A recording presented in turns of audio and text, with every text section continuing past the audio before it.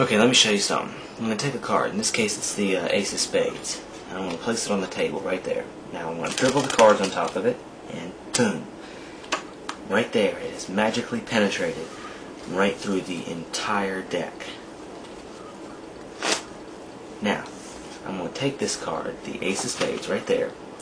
Now, if you notice the uh, the way it's curved on the spade in the center right there, well, that makes this card changeable because of the point and the curve right there. Now, watch. It is magically changed into the nine of spades right there. Now, where could the ace of spades have gone?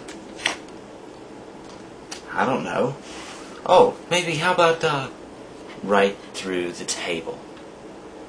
And that is impossible penetration.